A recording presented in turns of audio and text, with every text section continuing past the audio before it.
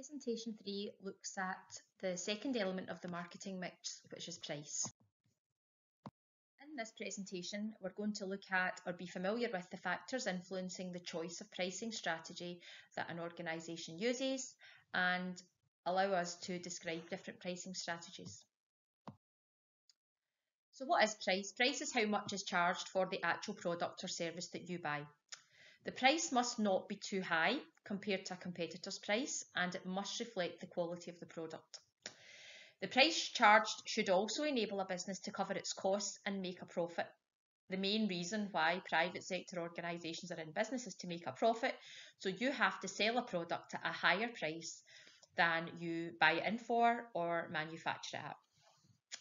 So pricing strategies can be short or long term, and we're going to look at them just in a few minutes.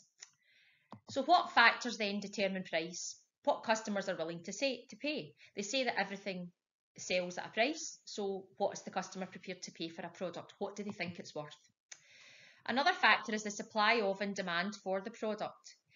Um, if products are in short supply, for example, during a bad harvest, there aren't enough potatoes, then what you'll find is the price of potatoes will go up. So the because there isn't the same supply of them. The same with demand. If you think of concert tickets, and uh, there is a limited supply of concert tickets and a huge demand for them, then because companies could sell these products over and over again, they can put the price up too. The quality of the product. If good quality raw materials are put into making the product, then they're going to cost more to make, so an organisation can increase the price uh, based on that. How much profit the firm wants to make. Businesses might have an idea of a percentage profit, a markup that they want to, to, to, achieve. Therefore, that's going to determine very much the percentage that they'll add on to the cost price to uh, give the business a profit. Competitors' prices. That was mentioned in the last slide. It's really important that if you want to be competitive, you want to keep up with your rivals, you charge something called a competitive price, a price that's similar to theirs. Your target market. If you're appealing to an upper class market, a market with a high income, then you could perhaps charge a higher price than if your product was targeted towards a lower income market where people don't have the same amount of money to buy the product. Similar again about the average income of the market, that kind of goes in tow with the last one. The position of the product in the life cycle. Now, back in the last presentation, we talked about the product life cycle and we talked about the different stages introduction, growth, maturity, and decline. So clearly when a product's coming into the market at first, you maybe want to make it appealing. So you'll find that the price is quite low. As the product starts to grow, that's when you can maybe increase the, the price of the product because people are more inclined to buy it. At maturity, you wouldn't want to increase your product anymore, and towards the end of maturity and into decline, then you would maybe want to reduce the price of your product to try and get the product sold. Pricing strategies, as we said a couple of slides ago, are either long term or short term. Now, long term pricing strategies mean that these will stick with, these will be pricing strategies that you would use on a long term basis. These are your kind of normal pricing strategies. However, from time to time, businesses may feel the need to introduce a different pricing strategy for a shorter period of time, and we call these short term pricing strategies. So your longer term ones are your low price.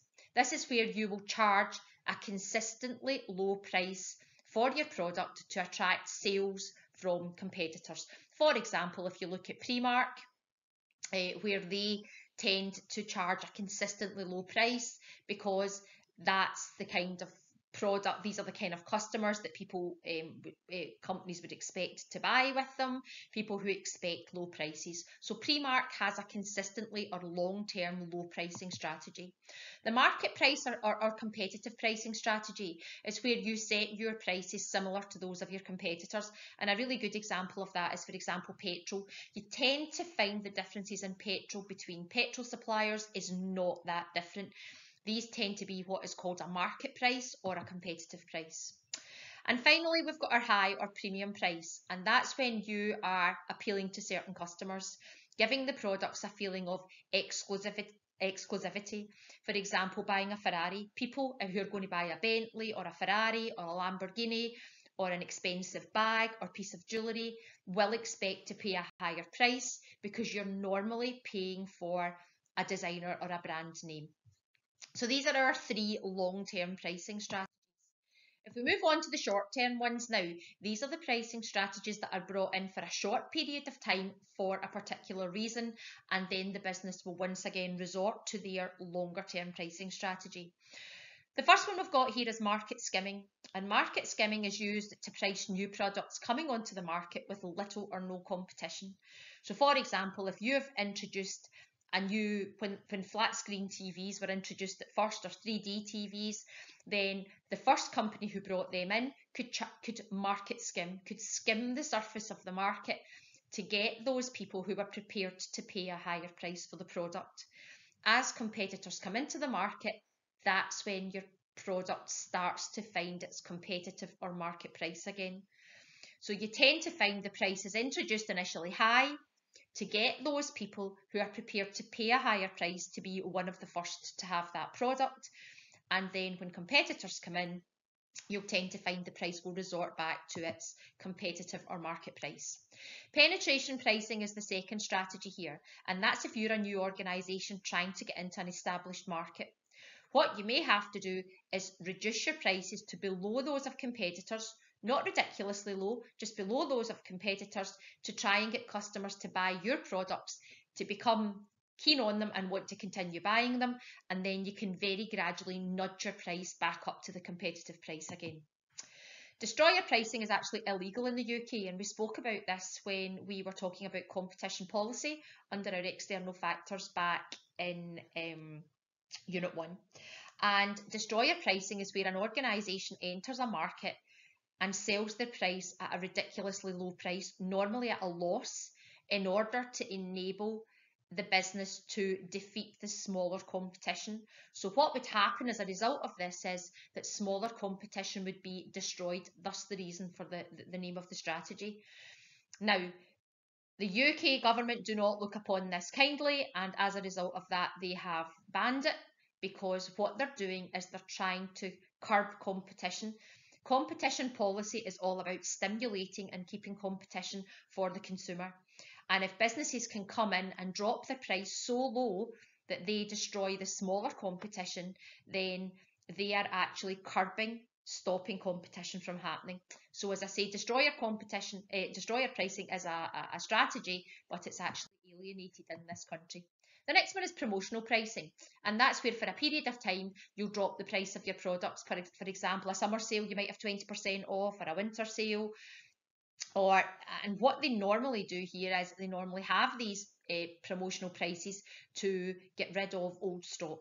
Maybe you're moving into the winter, so you want to get rid of your summer stock, so you might reduce the items by 20% or whatever, and we call that promotional pricing. The next one is a loss leader, and a loss leader is where you will have items in your store that are priced at such a low price that they are once again uh, get, uh, obtaining a loss. They're not actually making you any profit, and you're trying to entice customers into the shop. You're not making a profit in these products. Um, but what you do is you hope that when people come into the shop to buy your loss leaders, they'll buy other things when they're there. Supermarkets are very good at doing this, and they'll normally have them at the end of the aisles. And they will perhaps have something like Coca Cola or Tetley tea bags or whatever at an extremely low price and what they're trying to do there is entice customers to buy other things when they're in the store, thus getting the, the, the customers through the door. Uh, discriminatory pricing is where you will charge different prices for the same product to different people or at different times. Good examples of this, if you look at things like EasyJet, Ryanair, when at certain times of the year they can charge, or certain times of the day even, they can charge different prices for the same flight going from Glasgow to London. It could be the very same seat, it's the very same journey, but you're maybe travelling at a different time. ScotRail do it um, during peak hour. They'll charge customers or travellers a higher price bet among, uh, between the peak hours, and at other times of the day, the off peak hours, they'll charge lower prices. Companies also do it for holidays as well. Uh, you're, you're maybe picking a holiday over the school holidays and you'll pay way more for it than you would if schools were back.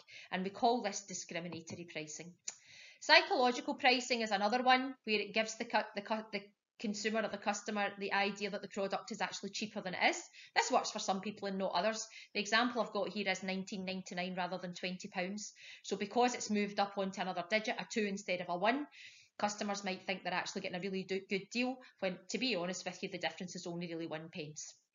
Um, this next slide is actually a really good um, link uh, to BBC Bitesize, and it's about how the Mini was priced, and the Mini was priced far, far too cheaply when it came into the market in comparison to other small cars at the time. Um, so it makes a really, really interesting uh, watch.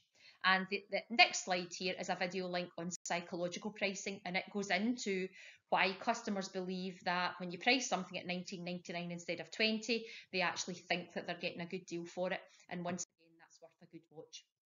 Now, as I mentioned in the last uh, presentation and product, at the end of every uh, presentation here, we're going to talk about how changing one element of the marketing mix is going to affect others. And what we'll be doing in class with this is we're actually going to be working through all of the elements once we've done the four main Ps, and we're going to see how if a business changes in this instance price, how is it going to impact on product, promotion and place? And as I say, we'll do this at the end of each of them. Uh, thank you.